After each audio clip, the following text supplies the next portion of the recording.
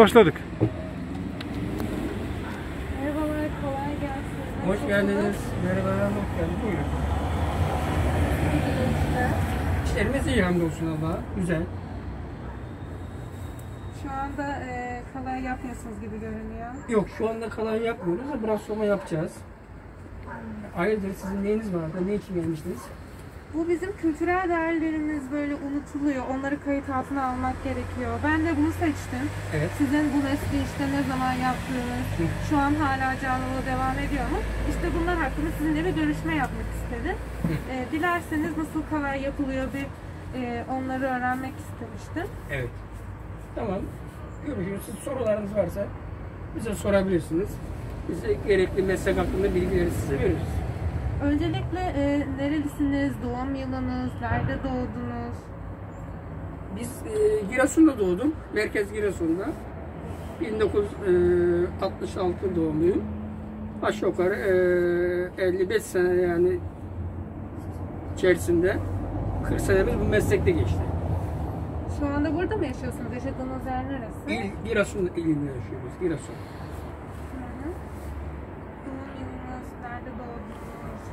E, anda bu meslek hani pek yapılmıyor zaten. Hani canlılık açısından çok fazla insanlar tercih etmiyorlar.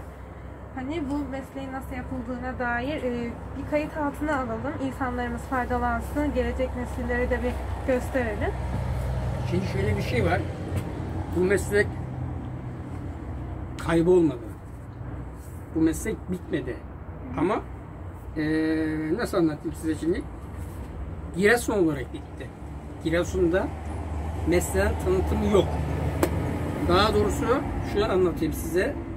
Sorularınıza çok büyük bir şey olsun bu. Cevap olsun. Burası Kazancılar Sokağı. Yani burası Kazancılar Sokağı. Eski Kazancılar Sokağı burası.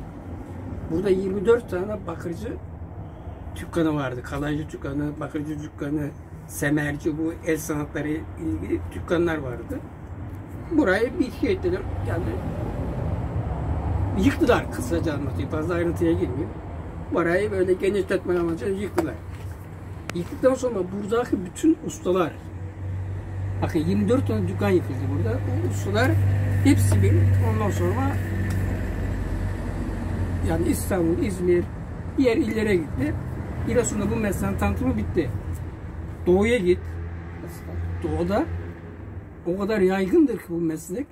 Yani o kadar yaygındır ki adamların sanayisi var bu bakır üzerine, kalay üzerine yani. Onun için sadece Giresun bilmez. Fazla ayrıntılı yani aslında Giresun'da bilir de e, şu şekilde söyleyeyim.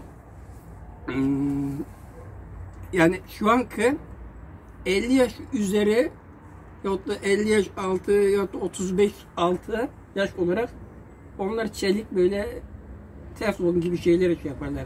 35 yaş altı. 35 üst, üstü, 35 yaş üstü çok iyi bilir bakırı Giresun'da. Peki bunu kimden öğrendiniz? Nereden öğrendiniz? Bunlar hakkında bilgi verebilir misiniz? Şimdi bu mesleği ben e, amcamdan öğrendim.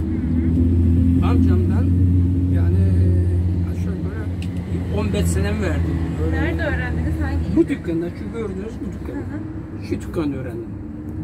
Yani bu dükkan nereden baksan e, 70 senelik bir dükkandır şurası. Yani burası 78 senelik bir dükkandır. Yani burada öğrendik bu mesleği. Aşağı yukarı da 40 senedir de 45 senedir yapıyorum. Şimdi e, eğer isterseniz bir kalayın nasıl olduğu, nasıl yapıldığı hakkında bir gösterelim. O zaman, Öncelikle malzemeleri hani nasıl bir şeydir, ne Heh, o zaman kullanılıyor? şöyle bir şey yapalım. Ee, kalay bu kalaydır. Bakın bu kalay. Şimdi ee, kalay mesela şöyle bilgi de vereyim hem e, gelmişseniz belki lazım olabilir. Yani dersle ilgili olabilir. Bu kalayın kilosu yani pahalıdır. Yani 450 TL'dir. Kalay budur. Nişadır da budur. Nişadırla yapılıyor diyor zaten. Bak, nişadır olmadan kalay olmaz. Kalay olmadan nişadır da olmaz. Ee, bakırın kalayın eri- erime derecesi 231 nokta derece 9 santimetre grad mi? şu an aklıma gelmiyor. Yani 200'ün üzerinde, 231'in üzerinde. Yani bu ısındıktan sonra bu çadırı biraz sonra zaten örnek olarak size göstereceğiz bunu nasıl yapıldığını. Bakın ısındıktan sonra diyelim 500 bin dereceyi bulduktan sonra e, nişadırız. Yani e, sıcak bakırın üzerine atıyoruz. Bakırın yüzeyindeki pisliği temizliyor. Kalayın e, bakırın üzerinde sulanıp erimesini sağlıyor. Yani sulandırıyor. Bakırın üzerinde yürümesini sağlıyor. Bunlar bu. Bu da tabii onu da yaparken şu pamuk denen bunu ile bir yani yapıyoruz. Yani kalay, nişadır, pamuk. Peki bu mesleği yaparken e, bu mesleğin bir hastalığı var mı? Zaman içinde nasıl zorlukları aştınız? Bugüne gelene kadar Bu mesleğin hastalığı var tabii ki. Kova yapar, göğüsler gider. Yani burada dumanla çalıştığımız için yani zorluğu var tabii ki. Bir de güzel dükkanı olmadığı için hastalığı çok elverişli bir mes meslek diyeyim öyle diyeyim mesela. Tabii yani bir şeyleri kaybolmadan kayıt altına alabilmek, e, insanlara söyleyebilmek, gelecek nesillere bir şeyler aktarabilmek bu hususta yani özellikle bu devirde önemli yani bir şeyler Evet. insanlara gösterebilmek. Çünkü gelecek nesillere belki bu meslek kalmayacak. Yani insanlar ya böyle bir şey olduğunu bile belki hani bilemeyebilir yani. Bunun adını bile bilmeyecek. O yüzden kayıt altına alabilmek şu an bu yaptığımız şey önemli. Mesleğe kayıt altına alalım size. Ben bu konuda da yardımcı olayım da. Ben size ön bir bilgi daha vereyim.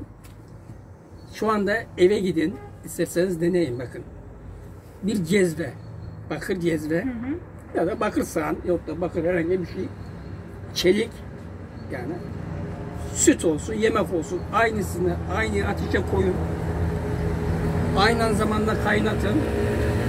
Aynı zamanda süt diyelim. Koyun önünüze için. Aradaki lezzet farkını göreceksiniz. Bak, bakırdaki lezzet farkını göreceksiniz. Bakırın özelliği bilir. Bakır yemeğe tatlandırır, lezzetlendirir. Ama çeliğin öyle bir özelliği yok. Çeliğin öyle bir özelliği yok. Çelik sadece erken ısınmasını sağlar. Ama yemeğe çok nefis tat vermez çelik. Bakır verir ama. Peki bu olay nasıl oldu yani nasıl yapılıyor malzemelerini bir ayrıntılı görmek istesek. Malzemelerimizi görürüz. Ben size o zaman şey yapayım, yapılışını göstereyim. Hı hı. Bir saniye, şimdi bir yardımcı olayım ben size. Ben aslında sizi geç gelecek diye bunu ayırmıştım size. Madem o zaman çalışalım. Nasıl olduğunu bir görelim ya.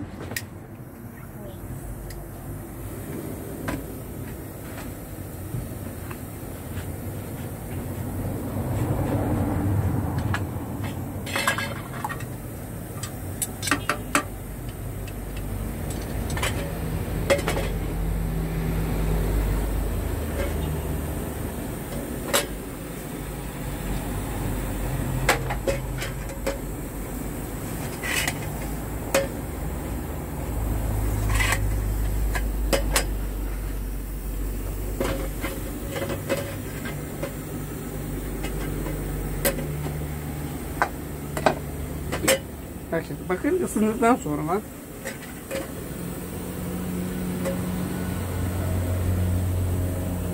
Şimdi şadek bakın bakırı temizliyor. Görüyor musun? Bak bakırı temizliyor. Yani bakırı kalayın bakırın üzerinde yürümesini sağlıyor. Bu işi yaparken en çok dikkat etmemiz gereken şey bu işin özellikleri En nelerdir? çok Hani dikkat etmen gereken şey e, bakırı yakmayacaksın. Suyu kaçırmayacaksın. Bir de eliye yakmayacaksın. Tabii ki bu zaman içinde de hani bir yerlerinizi yakmışsınızdır. Zorlukları olmuştur elbette. E, Yani tabii ki. kolay kolay olmadı.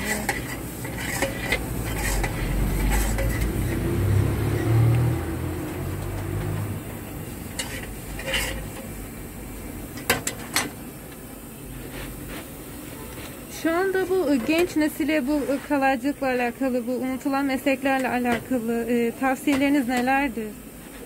Tavsiyeleriniz bizim ne olabilir? Genç kişiyi mesela bakırı tanımasını isterim.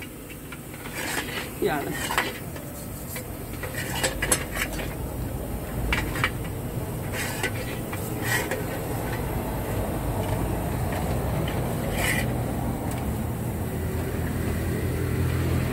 Bu şekilde yaptık mı bitiyor.